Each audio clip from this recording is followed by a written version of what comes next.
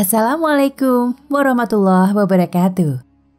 Penciptaan Nabi Adam alaihi salam adalah kisah penciptaan manusia yang pertama.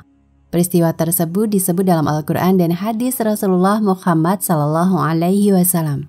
Ketika Allah berfirman kepada malaikat, Ingatlah ketika Tuhanmu berfirman kepada para malaikat, Sesungguhnya aku hendak menjadikan seorang khalifah di muka bumi. Mereka berkata, Mengapa engkau hendak menjadikan khalifah di bumi itu? Orang yang akan membuat kerusakan padanya dan menumpahkan darah. Padahal kami senantiasa bertasbih dengan memuji engkau dan mensucikan engkau. Tuhan berfirman, Sesungguhnya aku mengetahui apa yang tidak kamu ketahui. Quran Surat Al-Baqarah ayat 30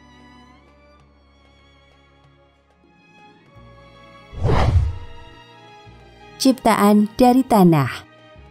Allah telah memerintahkan malaikat Jibril untuk turun ke bumi untuk mengambil sebagian kecil tanah sebagai bahan untuk menjadikan Adam, manusia pertama di bumi.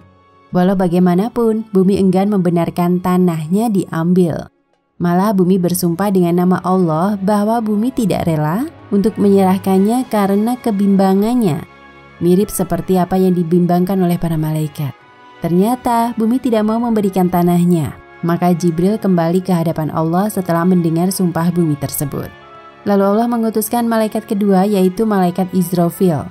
Maka Israfil pun turun ke bumi untuk mengambil sedikit tanah guna penciptaan Adam sebagai manusia pertama di bumi. Tapi ternyata malaikat Israfil juga kembali ke hadapan Allah karena juga tidak diberikan oleh bumi ia tak berdaya dan tidak bisa berbuat apa-apa akibat sumpah demi Allah yang dibuat oleh bumi. Maka Allah memerintahkan malaikat ketiga yaitu malaikat Israel untuk melakukan tugas tersebut. Dan Allah menugaskan Israel mendesak bumi agar tidak menolak walaupun bumi bersumpah karena tugas tersebut dijalankan atas perintah dan nama Allah. Maka Israel turun ke bumi dan mengatakan bahwa kedatangannya adalah atas perintah Allah dan memberi amanat kepada bumi untuk tidak membantah yang memungkinkan bumi mendurhakai Allah.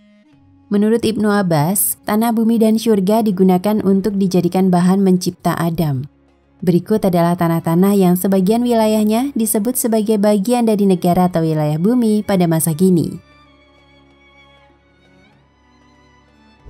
Tanah tersebut adalah Tanah Baitul Muqaddis, Palestina. Kepala sebagai tempat kemuliaan untuk diletakkan otak dan akal. Tanah Bukit Tursina, Mesir. Telinga sebagai tempat mendengar dan menerima nasihat. Tanah Irak, dahi sebagai tempat sujud kepada Allah.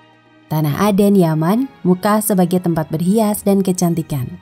Tanah Telaga Al-Kausar, mata sebagai tempat menarik perhatian. Tanah Al-Kausar, gigi, sebagai tempat memanis-manis. Tanah Ka'bah Mekah, tangan kanan sebagai tempat mencari nafkah dan bekerja sama. Tanah Paris Prancis, tangan kiri sebagai anggota dan melakukan istinja. Tanah Khurasan Iran, perut sebagai tempat berlapar. Tanah Babylon Irak, kelamin sebagai organ seks dan tempat bernafsu serta godaan syaitan. Tanah Tursina Mesir, tulang sebagai peneguh manusia. Tanah India, kaki sebagai anggota tubuh untuk berdiri dan berjalan. Tanah Firdaus, surga, hati sebagai tempat keyakinan, keimanan, dan kemauan. Tanah Taif Arab Saudi, lidah sebagai tempat untuk mengucapkan syahadat, syukur, dan doa. Sesungguhnya tanah yang akan dijadikan tubuh Adam adalah tanah pilihan. Maka sebelum dijadikan patung, tanah itu dicampurkan dengan rempah-rempah dan wangi-wangian dari sifat nur sifat Allah dan diresmikan dengan air hujan barul uluhiyah.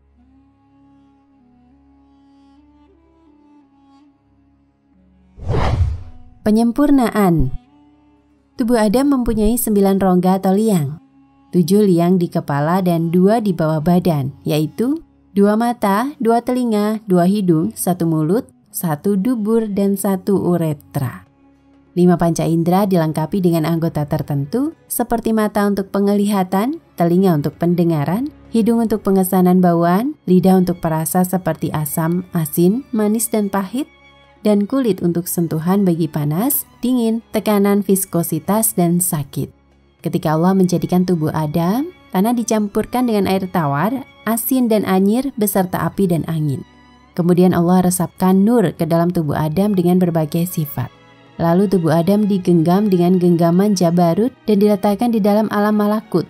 Tanah itu dicampurkan lagi dengan istilah wewangian dan ramuan dari nur sifat Allah dan dirasmi dengan bahrul uluhiyah. Kemudian tubuh tersebut dibenamkan dalam khudrol izah, yaitu sifat jalan dan jamal, lalu disempurnakan tubuh tersebut.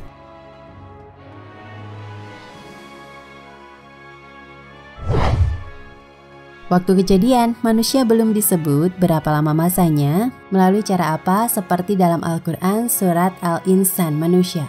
Bukankah telah datang atas manusia satu waktu dari masa, sedang dia ketika itu belum merupakan sesuatu yang dapat disebut.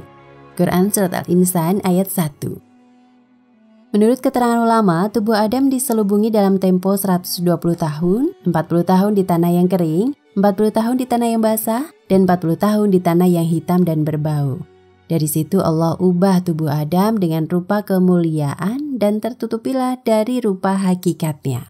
Karena proses kejadian itu melalui peringkat yang kotor. Tidak heran malaikat dan iblis memandang rendahkan kejadian manusia yang diciptakan dari tanah. Israel yang mengambil tanah, maka Israel pula yang akan mencabut rohnya. Ketika Israel berhasil mengambil tanah dari bumi, lalu Israel kembali menghadap Allah. Allah berfirman, Wahai Israel, engkau yang kutugaskan untuk mengambil tanah, dan kelak engkau pula yang aku tugaskan untuk mencabut nyawa manusia. Lalu Israel berkata, Wahai Tuhanku, hamba takut akan dibenci oleh seluruh anak Adam. Allah menjawab melalui firman-Nya, Tidak, mereka manusia tidak akan memusuhi engkau. Aku yang mengaturnya. Lalu aku jadikan ada sebab untuk mendatangkan kematian mereka seperti terbunuh, terbakar, dan sebagainya.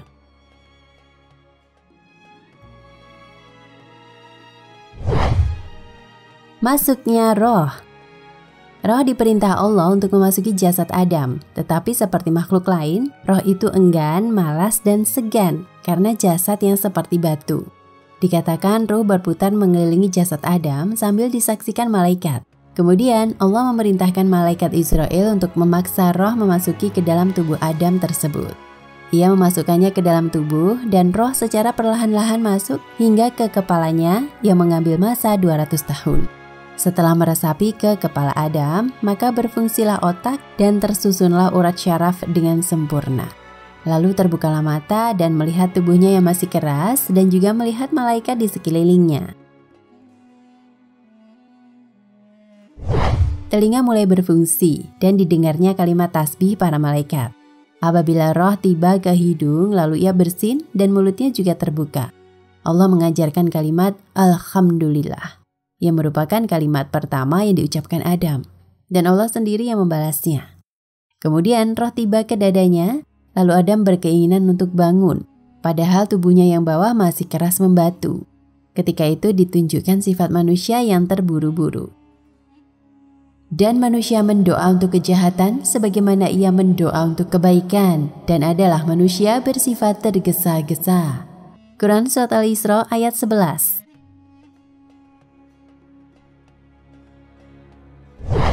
Ketika roh sampai ke perut, maka organ dalam dan perut tersusun sempurna dan saat itu Adam mulai merasakan lapar. Akhirnya roh meresap ke seluruh tubuh Adam, tangan dan kaki, dan berfungsilah dengan sempurna segala darah, daging, tulang, urat syaraf, dan kulit. Urat-urat berkulit dengan sempurna yang mana kulit itu kian lama kian cantik dan halus. Menurut riwayat, kulit Adam sangat baik ketika itu jika berbanding kulit manusia pada masa kini. Ketika Adam telah diturunkan ke dunia, terjadilah perubahan pada warna kulitnya. Sebagai peringatan, yang masih tertinggal warnanya hanyalah pada kuku manusia. Oleh itu meskipun orang kulitnya hitam, tetapi warna kukunya adalah sama, ialah putih kemerahan.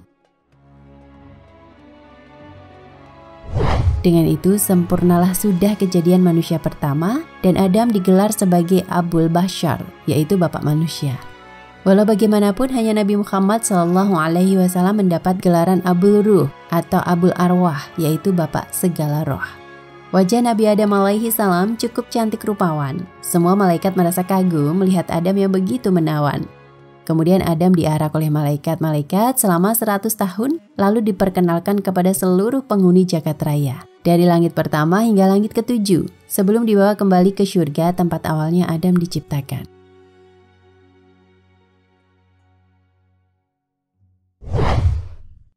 Kajian Sains Kajian sains telah menunjukkan bahwa unsur kimia pada tubuh manusia terdiri dari unsur yang terdapat pada tanah. Nisbah unsur yang terdapat di dalam badan juga memberikan kesesuaian dalam sifat dan fungsi anggota setiap bagian manusia.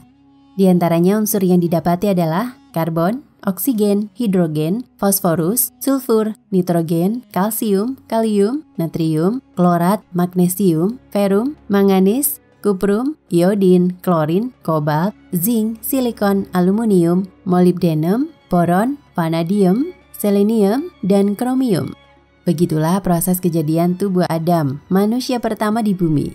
Setelah kejadian Adam sempurna sebagai manusia, maka dialah merupakan makhluk manusia yang pertama.